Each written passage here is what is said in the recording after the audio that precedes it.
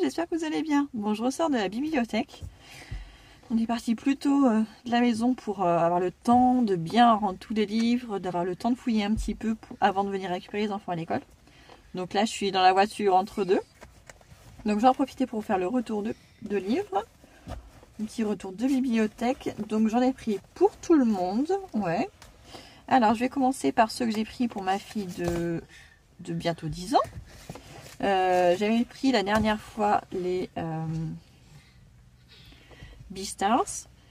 Je les avais pris pour mon fils. Et en fait, euh, c'est ma fille qui les a lus. J'avais pris les 1, 2, 3 et elle les a lus super vite. Elle a beaucoup aimé. Donc elle m'a demandé de lui prendre les 3, 4, 5. Les 4, 5, 6. Donc c'est ce que j'ai fait. On a eu la chance. Ils étaient tous les trois dispo. Donc je lui ai pris. pour elle, c'est tout ce que j'ai pris parce que je crois qu'elle m'a demandé autre chose, mais je m'en souvenais plus. Euh, donc je la déposerai demain matin. Euh, elle ira comme ça vite fait récupérer ce dont elle a besoin. Parce qu'elle a droit à 6 livres. Là j'en ai pris 3. Elle en a déjà un à la maison. Euh, donc elle pourra en prendre deux supplémentaires si elle veut. Ensuite pour ma fille de, de 8 ans. Elle, elle n'avait plus rien. Et ce matin, elle m'a pas dit avant de partir à l'école. J'ai pas pensé à lui demander si elle voulait d'autres livres et lesquels. Donc j'ai fait, j'ai fait un petit choix éclectique. Je lui ai repris une BD Athéna, comme ça, euh, à la recherche de ses pouvoirs. Elle en avait déjà pris une la, semaine dernière, c'était une rouge. Là, c'est la verte. Je crois pas qu'elle l'ait déjà lue. Elle m'a toute neuve, donc je pense pas qu'elle l'ait déjà lue. Ensuite, ça, c'est un truc qui est nouveau dans notre médiathèque. Ça s'appelle euh, Ali. Et euh, c'est la nouvelle école. Alors, il y a plusieurs livres de Ali. Euh, il n'y a pas de numéro, donc je pense pas que ce soit une histoire qui se suive. Ce sont sûrement des histoires indépendantes. Mais en tout cas, la couverture, je la trouve très très jolie pour une petite fille. Euh, ça a l'air sympa. Malheureusement, c'est pas illustré. Euh, mais c'est quand même écrit assez gros, donc je pense que ça devrait lui plaire. Enfin, en tout cas, ça m'a l'air mignonnet. Donc, je lui ai pris ça. Ensuite, je lui ai repris un livre des ballerines magiques. Donc là, c'est le carnaval des bonbons. Vu que c'est bientôt carnaval, je me suis dit que ça pourrait être euh, sympa. Et ceux-là, la bibliothèque rose, ils sont illustrés. Un autre de la bibliothèque rose, je lui ai pris euh, Fantomètre au carnaval. Pareil, pour être toujours dans le, dans le thème du carnaval. Même si celui-ci n'est pas très illustré, il est hyper vieux.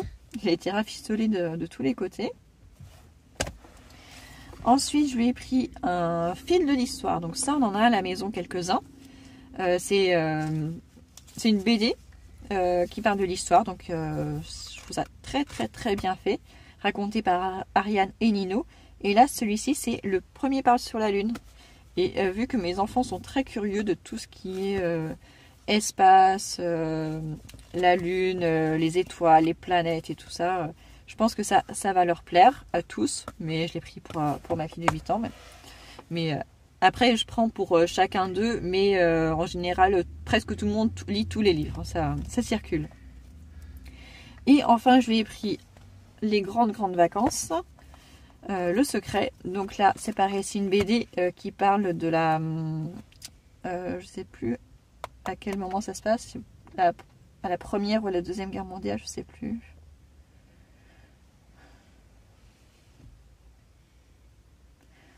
Ouais, ça va être euh, pendant la Seconde Guerre mondiale, si je ne me trompe pas.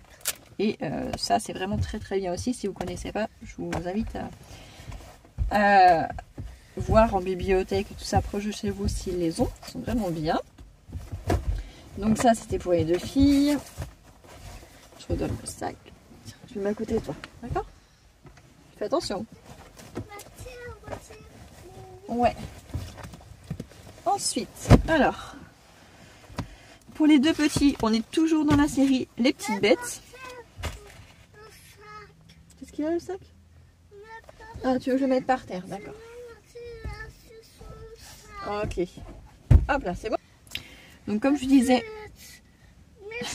Mais non, c'est pas méchant.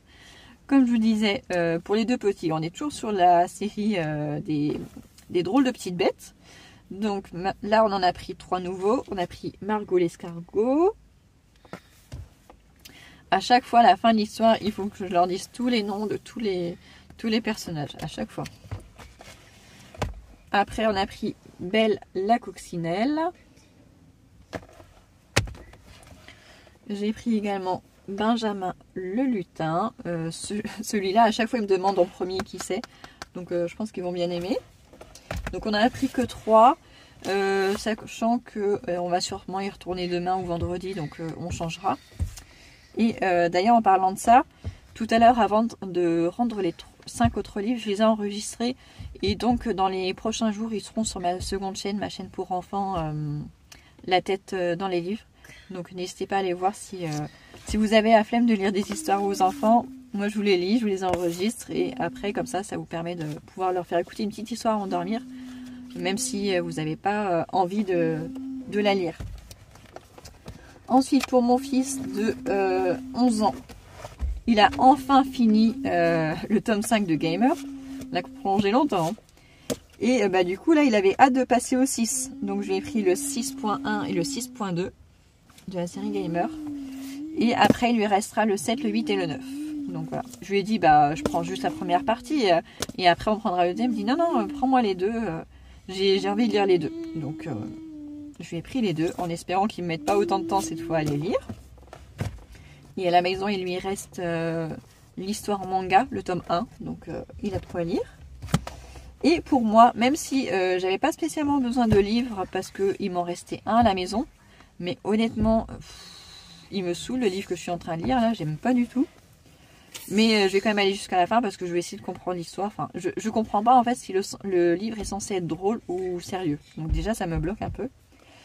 Et euh, j'ai pris, sur conseil de certaines d'entre vous, Valentin Musso, Une vraie famille. Donc on voit qu'il a été beaucoup lu. J'ai bien bien usé. En format poche. Parce que j'ai lu un Valentin Musso la semaine dernière et euh, j'ai pas. Enfin, j'ai moyennement aimé. Et du coup, on m'a dit que celui-ci avait vraiment été très très bien et j'en ai lu beaucoup de bien aussi. Donc, euh, bah, je vais tenter celui-ci pour voir si je peux me réconcilier avec l'auteur. Et aussi, j'ai pris euh, Des matins heureux. Des matins heureux. Oui, Des matins heureux. Un roman de Sophie Talmen que je ne connais pas aux éditions Albin Michel. Et euh, là, pour une fois, j'ai lu le début du résumé, parce que du coup, le livre que je suis en train de lire, je suis dégoûtée de ne pas avoir lu le résumé, ce qui me saoule. Donc là, j'ai quand même, commencé à lire le résumé, même si d'habitude je ne le fais pas. Et à la première page, enfin la première ligne, ça me disait bien. Donc je dis, bon, je continue pas, mais je prends. Donc voilà. Ça m'en fait deux de plus, au cas où euh, je finirai l'autre aussi. Vraiment, il me saoule trop et que... Et que voilà. Et comme en plus, là, je savais que j'allais être en avance, mais même très en avance à l'école, et que j'avais oublié le livre à la maison. Je dis, bah, comme ça, ça me fait de quoi lire aussi dans la voiture en attendant. Voilà, voilà. Et bien, j'espère que cette petite vidéo vous aura plu et je vous dis à très très bientôt.